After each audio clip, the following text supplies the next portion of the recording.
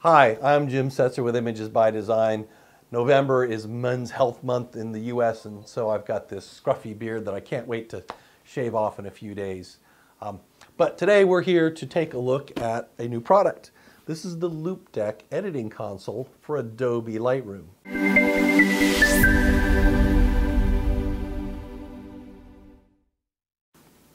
Loupedeck sent me this copy uh, for evaluation. I did not pay for it, but they are not paying me to endorse their product either. Packaging is nice, contemporary. This outer sleeve has a short description on the front and the system requirements in about 10 different languages on the back. Taking off that sleeve and popping off the cover of the case. This guy's nice padding, should be able to ship anywhere without any damage. There's the console in the box. Comes out USB cable and a little protective cardboard tube. And then below that, uh, just a legal manual and a quick getting started guide. That's all that's in the package. So let's see what this guide says. Take it from there and let's plug this thing in and put it through its paces. The Getting Started Guide points you first to the Loupedeck website where you can download the version of the control software for your system, Macintosh or Windows. Once you've downloaded and installed that software, you get this nice splash screen that says you are now ready to finally plug the Loupedeck into a USB port. And now you're presented with a screen where you can customize a few of the buttons on the Loupedeck, but we'll get into that a little bit later. For now, let's take a look at the layout of the buttons and controls on the Loupedeck. The Loupedeck is comprised of a number of infinite scroll knobs, buttons, scroll wheels, and jog dials. Each of them is also a button that will reset that value back to zero or the center of the slider in Lightroom. While the Loupedeck is primarily designed to work in the Develop module of Lightroom, a number of the keys on this console can be used in the Library module. Starting over here, the Undo and Redo buttons are mapped to Control Y and Control Z for backing up and moving forward. Full screen, which is your F key shortcut, uh, does the same thing there. Before and after actually jumps you into the develop module and gives you that familiar side-by-side -side preview. Export brings up the export dialog box.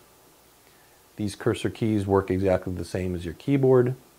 The zoom key works as well as this second zoom key that seems to be an exact duplicate. Uh, I think they could have used that real estate for something unique. This row of buttons here will select your star ratings, 1 through 5, or toggling using this button, they become your color ratings, red through purple. Copy and paste will copy and paste a photograph settings. Pick will turn on the pick flag. And if you notice, there's this FN button, which is like a shift button or the function button on a laptop keyboard.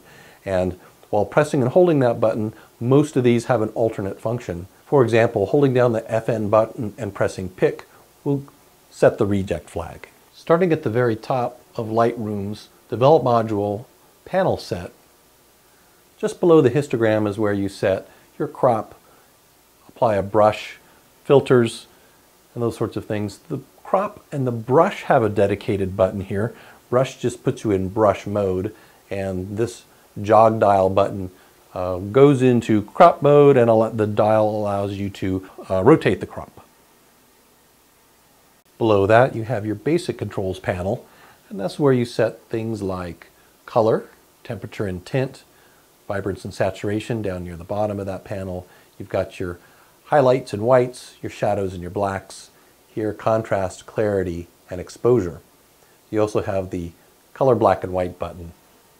Scrolling down to Lightroom's adjustments panel, this is where you set the color settings for hue, saturation, and luminance. Clicking this little set of radio buttons selects between those three modes, and your color wheels here are used to fine-tune adjust the various color bands.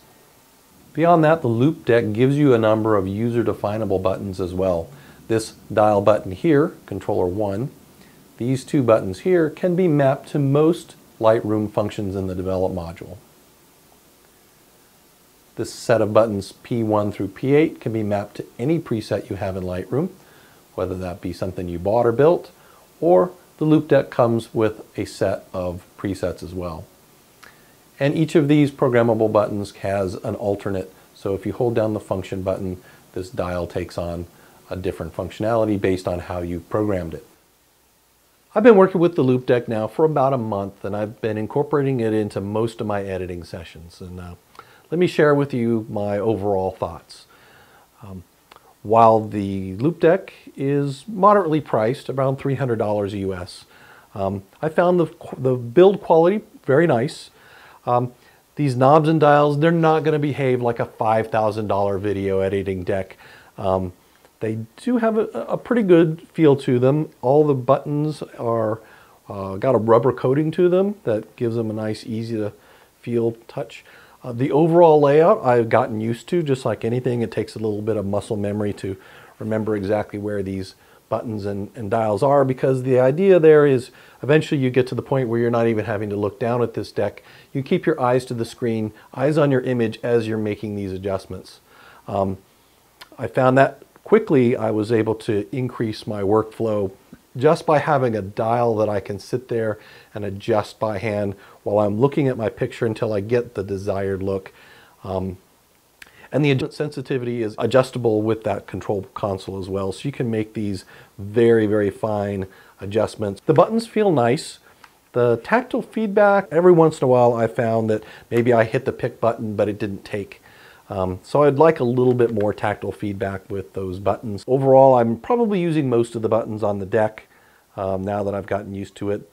I really wish we had dedicated buttons for the other filters that go along with the brush and other things for, for that part of it.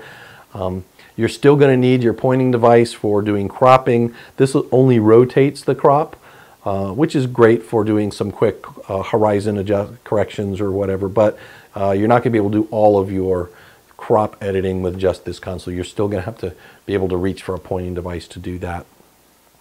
Same thing with these customizable buttons. There are so many other panels in Lightroom that I use that uh, I would like to take those most common buttons and have them here on the Loupedeck to be able to be used. For example, if I was a architecture uh, photographer, I would really want those transform controls because I'm always warping and, and adjusting things.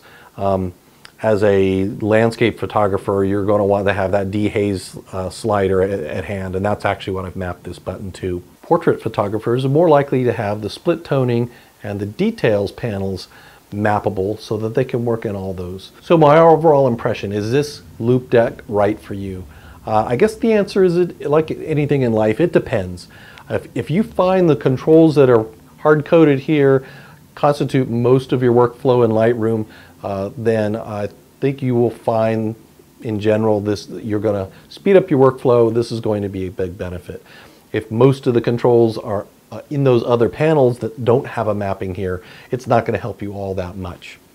Uh, and that's all subjective. That's just my opinion. So what I'm going to do next after I publish this video is I'm going to do a, a human machine interface study. I've uh, recruited a couple of my friends to take this deck, take it home with them for a week, get used to the controls, and then actually do an edit test where you take a set of pictures, edit it your traditional way, go back, edit very similar or the same set of pictures using the Loupedeck, and time them to say, hey, how much time, if any, did this save you, and do you like the overall um, change in your workflow that comes with having dedicated controls versus the keyboard the pointing device. That's my overall review of the Loupedeck. I think that there's a, there are a couple things they could probably improve through the, the software. Some of the things I don't like. Uh, the little clip that holds the, the cable in the back seems to uh, pop out very easily. And this doesn't have any uh, flip up feet to change the angle. So I've had to take mine and prop it up on my keyboard so it's at a more natural angle for me. I like to see that up at an angle some more. So you might have to prop it up against something or get one of those uh, uh, keyboard pads that have feet in it. Overall, I think it's a great first effort by the Loupedeck company that started this out as a, as a crowdsourced project. And I imagine if they sell enough of these units, that we'll see future panels with maybe even more controls on them. If you enjoyed this product review, please like and subscribe down below. Leave comments or questions and I'll get back to those as soon as I can. And as always, I'm Jim Setzer with Images by Design. Have a great day.